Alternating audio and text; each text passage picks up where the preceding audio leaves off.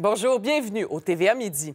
Les professeurs de la Fédération autonome de l'enseignement complètent leur quatrième semaine de grève générale. Malgré tout, aucune entente n'est encore en vue avec le gouvernement. Pendant ce temps, les 420 000 syndiqués du Front commun hésitent encore à utiliser le même moyen de pression. À l'approche des fêtes, Audrey, on espère encore qu'on pourra éviter la grève générale illimitée. Parce qu'on le sait, Véronique, ça a quand même des impacts hein, sur les élèves qui euh, cumulent les retards pour certains après quatre semaines de grève. Donc, euh, le Front commun espère éviter ça. Euh, vous le voyez, le Front commun a tenu ses dernières journées de grève du 8 au 14 décembre dernier, mais la FAE ben, est en grève depuis presque un mois maintenant. Et euh, le scénario qu'on a présenté cette semaine, donc avec une possible entente aujourd'hui pour un retour euh, en classe avant les fêtes, est de plus en plus improbable, voire impossible, parce qu'il n'y a pas de blitz de négociation euh, en fin de semaine là, du côté de la FAE. Alors, le Front commun, lui, espère que ça ne, de ne pas avoir à se rendre là, finalement.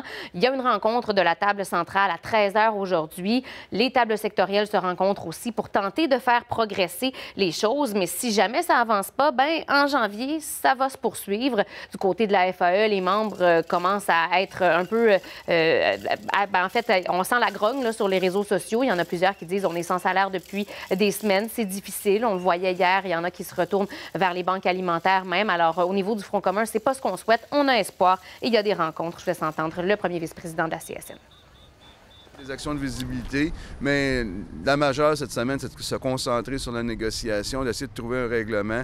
Moi, j'y crois encore. L'ensemble des partenaires du Front commun y croient encore d'être capable d'en arriver à un règlement d'ici le 24 décembre. Mais il est clair qu'on va quand même préparer janvier parce que si, si il se passe rien, mais c'est clair qu'en janvier, euh, mais là, on a notre mandat de grève générale illimité en poche, mais je pense que le gouvernement ne veut pas jouer dans ce film-là et nous également.